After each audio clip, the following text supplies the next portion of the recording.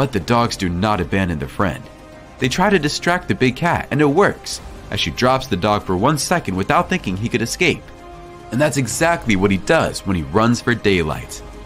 I like how wild dogs help each other this way. 10. Lion hunting honey badger.